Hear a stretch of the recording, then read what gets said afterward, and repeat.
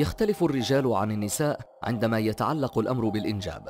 فهناك رجال أنجبوا عددا ضخما من الأولاد يفوق حتى قدرتنا على التخيل. إليكم أكثر عشرة رجال إنجابا في التاريخ على الإطلاق. في المركز العاشر رمسيس الثاني. عاش رمسيس الثاني قبل أكثر من ثلاثة آلاف عام وكان الفرعون الأكثر شهرة. توفي رمسيس الثاني في سن التسعين بعد أن تزوج العديد من النساء واستطاع أن ينجب أكثر من مئة طفل بحسب المؤرخين. وكان يفتخر رمسيس الثاني بذريته حتى أنه رسم صورا كبيرة لأطفاله على جدران المعابد الفرعونية وأصبح بعض أولاده ملوكا فيما بعد. في المركز التاسع ميشك نياندورو رجل من زيمبابوي متزوج من 18 امرأة ويبلغ من العمر 61 سنة. أنجب نياندورو 128 طفلا ويبدو أنه لن يتوقف عند هذا الرقم. الغريب في الأمر أنه لا يقوم بأي عمل على الإطلاق إنما يمضي معظم وقته في إدارة عائلته ومتابعة أولاده الكبار الذين يقومون بتربية إخوانهم وأخواتهم الأصغر سنا. تعتمد هذه العائلة الكبيرة على الزراعة لكسب قوت يومها ويقوم نياندارو بتوزيع الحصاد على جميع زوجاته بالتساوي. في المركز الثامن متبرع مجهول الهوية. لا يوجد في القانون الأمريكي أي حد لعدد المرات التي يمكن للرجال أن يتبرعوا بها بحيواناتهم المنوية. هذه الثغرة القانونية جعلت أحد المتبرعين المجهولين ينجب أكثر من 150 طفلا بحسب بنك الحيوانات المنوية في الولايات المتحدة. في المركز السابع جاك كيغونغو جاك كيغونغو من أوغندا أنجب 158 طفلا وقد توفي في سنة 2012 عن عمر ناهز 103 أعوام وكان قد تزوج من 20 امرأة خلال حياته. في المركز السادس أنسينتوس أكوكو. في سنة 2010 توفي أنسينتوس أكوكو في مدينة نيروبي في كينيا بعد أن أنجب 160 طفلا وكان قد تزوج 100 مرة وقام بالطلاق 30 مرة. وقد قام ببناء كنيسة ومدرستين ابتدائيتين مخصصتين لزوجاته وذريته في قريتهم الصغيرة في نيروبي.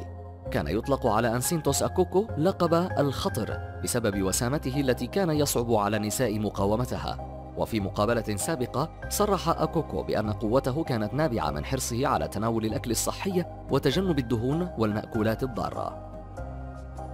في المركز الخامس سوبوزا الثاني. حكم الملك سوبوزا الثاني سوازيلاند لمدة 82 عام من 1899 إلى 1982 فبعد ولادته بأربعة أشهر في سنة 1899 توفي والده ثم تم تنصيبه ملكا على سويسرلاند مباشرة بعد ذلك.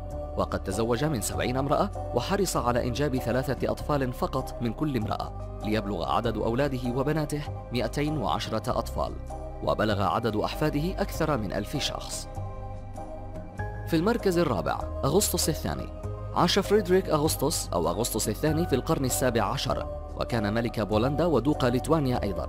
وتسببت قوته الجسدية المفرطة في تلقيبه ببعض ألقاب القوة مثل القوي واليد الحديدية. فكان يقوم بكسر حدوات الخيول بيديه العاريتين ويشترك في رياضات قذف الثعالب ويقوم بقذفها بإصبع واحد.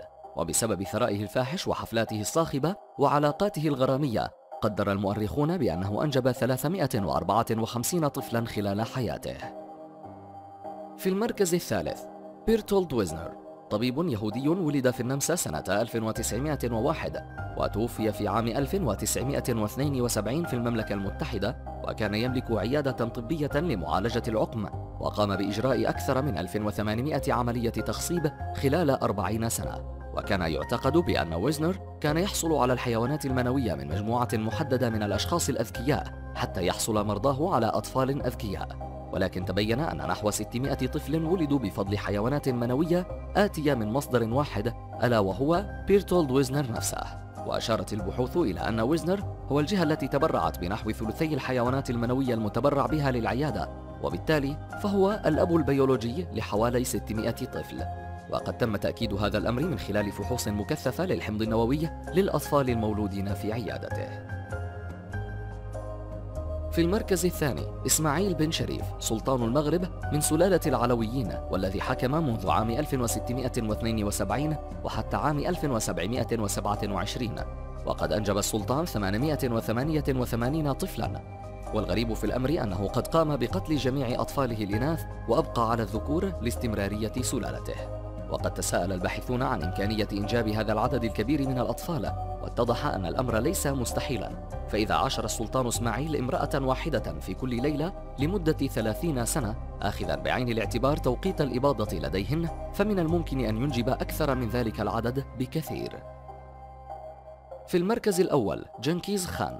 عاش جنكيز خان مؤسس الإمبراطورية المغولية والتي اعتبرت أضخم إمبراطورية في التاريخ ككتلة واحدة بعد وفاته.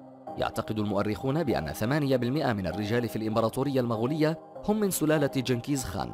فبعد تحليل الكروموسوم واي والذي لا يتغير كثيرا بين الأجيال تبين أن العديد من الرجال في مناطق مختلفة من الإمبراطورية المغولية يمتلكون نفس الجينات. وأظهرت النتائج بأن واحدا من كل 200 رجل ينحدرون من الإمبراطور المغولي جنكيز خان. وبذلك قدر الباحثون أن جنكيز خان قد أنجب من ألف إلى ألفي طفل خلال حياته.